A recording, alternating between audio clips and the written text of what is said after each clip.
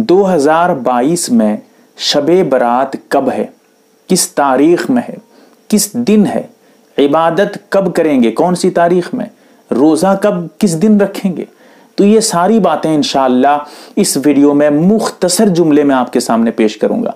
सबसे पहले ये क्लियर कर दूँ, ये जो तारीख आपके सामने पेश कर रहा हूँ, दिन बयान कर रहा हूँ, ये सिर्फ़ और सिर्फ़ अपने इलाके के लिए जहाँ पर मतला सेम रहता है, बराबर रहता है, जहाँ की तारीख, उर्दू तारीख, अरबी तारीख जो है, बिल्कुल सेम रहती है। यानी फ़र्क है इसमें, तारीख में।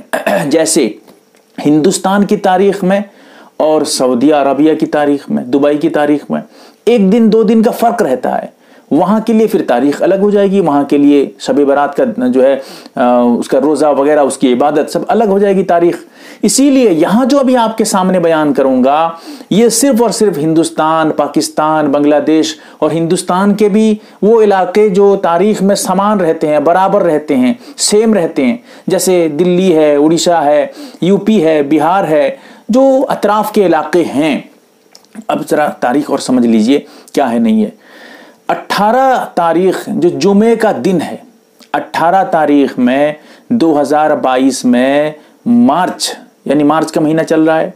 मार्च के महीने में 18 तारीख, जो जुमे का दिन है, उसकी रात में, जब 18 तारीख में रात शुरू हो जाए, मगरिब का टाइम शुरू हो जाए, जैसे सूरज डूब जाए, समझिए कि अब शबे बरात, यानी 15 शाबान की रात शुरू हो गई। उसी रात में हमको इबादत करनी है।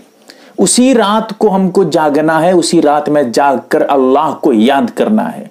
उसी रात में हम कुरान की तिलावत ज़्यादा से ज़्यादा करें। उसी रात की बहुत ज़्यादा फजीलत है। ठीक है? अब रोजा अगले दिन का, यानी सनीचर का रोजा रखेंगे, तारीख है 19 तारीख। अगले दिन का रोजा, रात में इबादत, दिन में रोजा। हदीस में भी आया है, कुमू लई रात में जो है तुम इबादत करो, क्याम करो, वो सोमो नहा रहा। दिन में जो है रोज़ा रखो, इसी एतबार से हम रोज़ा और इबादत करेंगे। तो ये तारीख और दिन बहुत आसान है, समझिएगा, लेकिन इतना फ़र्क रखिएगा। ये तारीख जैसे मैं उड़ीसा का रहने वाला हूँ, इसी एतबार से आप अपने इलाके में सबसे आसान तरीका अरबी तारीख मालूम कर लीजिए कि अरबी तारीख क्या है। अरबी तारीख जब आप मालूम कर लेंगे तो फिर समझ जाएँगे कि पंद्रह शाबान में जो रात है, वो रात में इबादत करेंगे। पंद्रह शाबान में जो दिन है, उसमें हम रोजा रखेंगे। ये आपके लिए बहुत आसानी होगी। बहरहाल, अल्लाह ताला हमें समझने की तोफीक दे। मुहतरम नाजरीन व सामीन आप एक मोतबर व मुस्तनद चैनल यम आर बी दीनी मालूम देख रहे हैं। आपकी खिदमत के लिए बहुत तहकीक और रिसर्च करने के बाद इसमें वीडियो डाले जाते हैं।